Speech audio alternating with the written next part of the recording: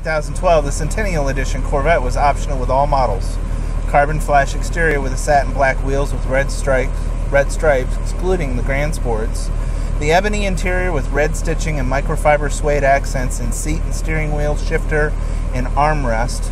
Red brake calipers, satin black stripe, graphic, and special trim. The Grand Sport included black fender badges. This 2012 has only 14,874 miles as of this taping, and as you can see with the microfiber suede, which is in very good shape, um, on these cars we do notice that they do start to wear, um, and I do want to point out right here I do have a small wear spot. There, probably where somebody had their thumbs resting. Um, our door handles here have it, as well as our shifter boot, um, all in very good shape, very clean, a very well taken care of car, no doubt. Uh, but let's go for a little ride. This is an automatic.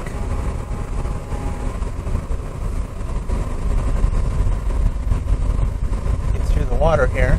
Uh, the car with only 14,000 miles drives just like it should, straight down the road with no pulling one way or the other. Our tires are in very good shape. Our tread depth will be on our website. This is a one owner car with a clean Carfax.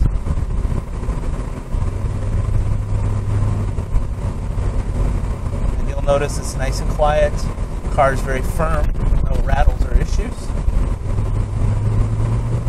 As you would expect with only 14,000 miles on her. These are great cars for your local car show or, or uh, just to drive to work one day. Brakes are great, uh, no pulling one way or the other. Nice and straight.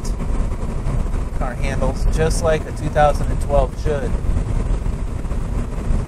I also do want to point out on the steering wheel for 2012, we did have the silver accents they started, as well as the bolsters. Uh, the shoulder area on the seating was widened a little bit to give you a little bit more stability, and they are very comfortable for sure.